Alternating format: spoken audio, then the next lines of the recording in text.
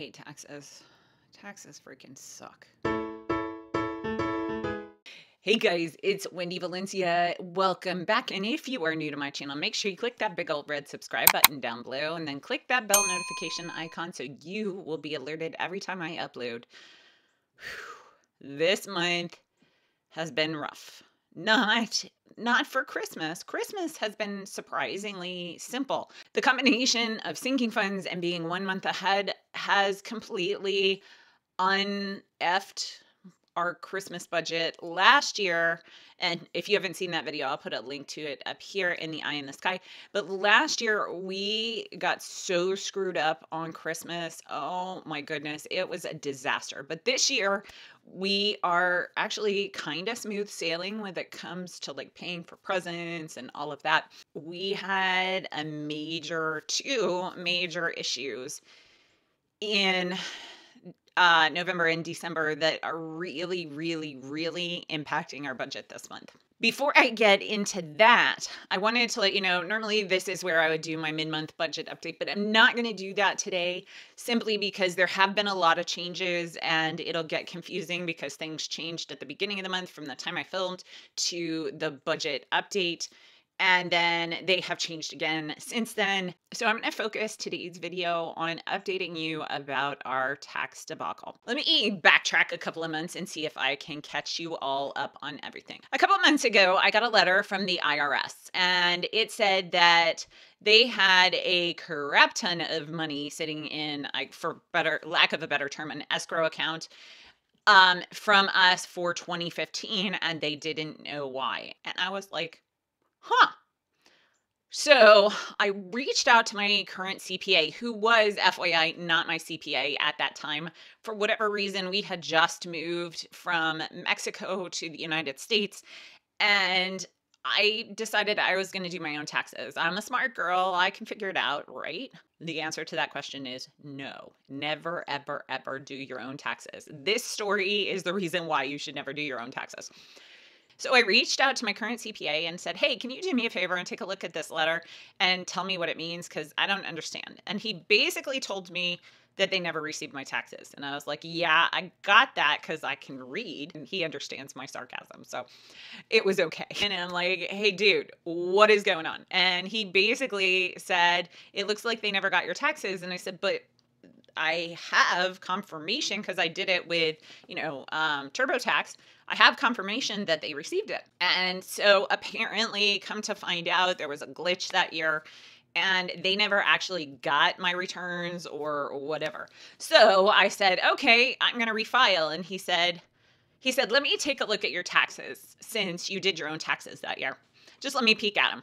And I was like, well, okay. So basically, he came back to me and said, You got a lot going on in taxes this year. Do you want me to look them over? And I talked to Mauricio about it, and we both agreed that that was not the year for me to have been doing my own taxes. We had a lot that went on financially that year.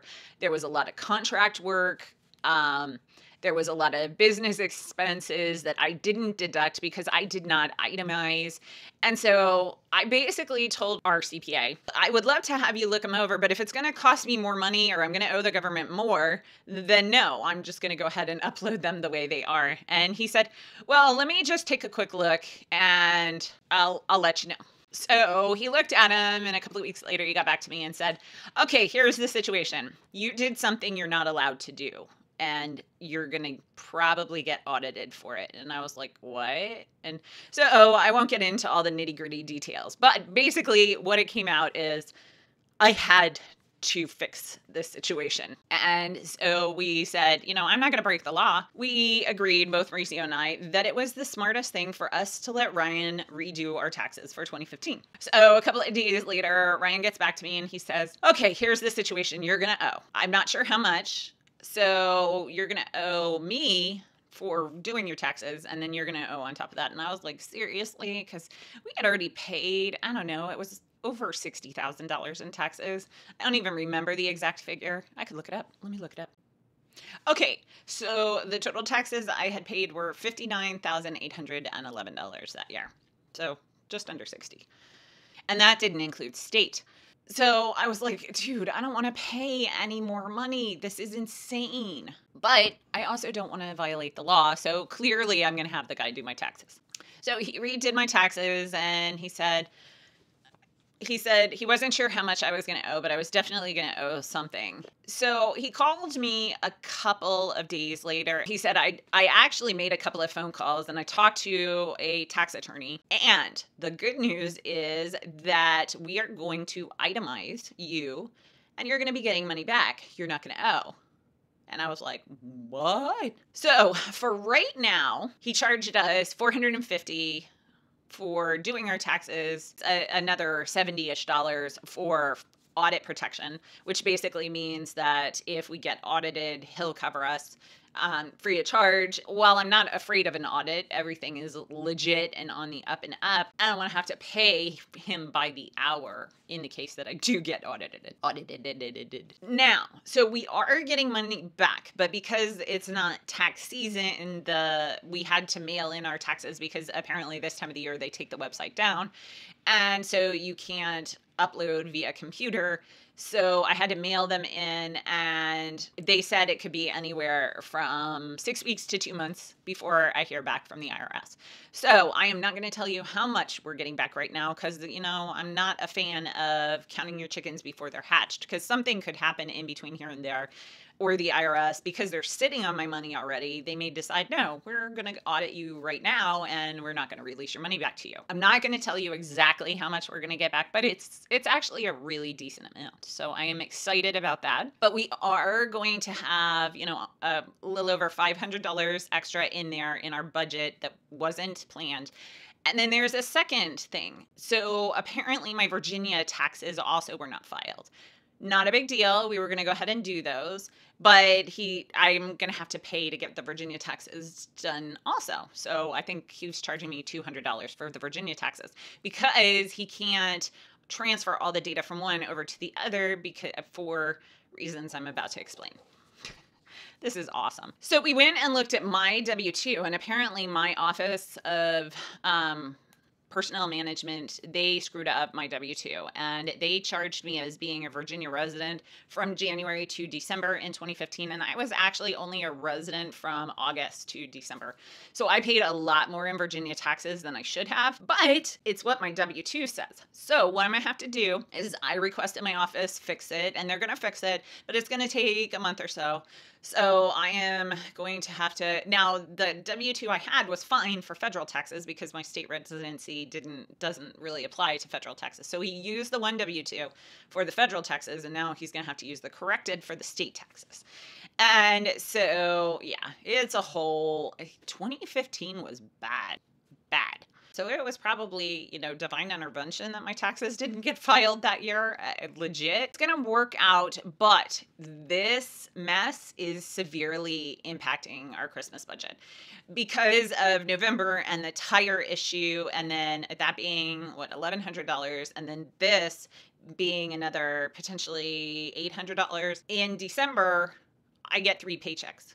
And normally, the way we do our budget, everything we earn in December goes to pay our January bills. So we earn the money, it goes into a savings account and then at the on the first of the month I move everything from the savings account into the checking account and that's what we use to pay our bills for the month. So this month we are not going to be able to take everything we earned in December and apply it to our January bills. We are taking one of the three paychecks from December and applying it to December bills. So that will cover the tire incidents of November and the tax stuff. And yeah, it's super intense. So I was so excited about having this ginormous payment in January to debt, but it looks like January is just going to be a regular month for me. But truthfully, this is the first time we have had a major financial crisis that hasn't broken us in pretty much our entire married life. So I'm kind of good with it. It is so crappy out, y'all. It's gray and disgusting and snowing, and it never snows in Virginia in December. Never, never. So they they have been saying on the news that it's going to be like the the worst winter in decades, and it's snowing in December. That that's that's a sign the apocalypse is coming. So today is the at my school, so that's why I got my stuffed animal.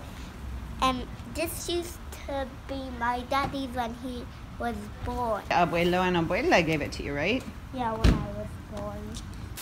If you are new to my channel, make sure you click on my big laughing face to subscribe and I will put up two videos so you can keep on watching. This video is my latest one and this one is one YouTube picked out just for you. So, I'll see you in the next one. See y'all.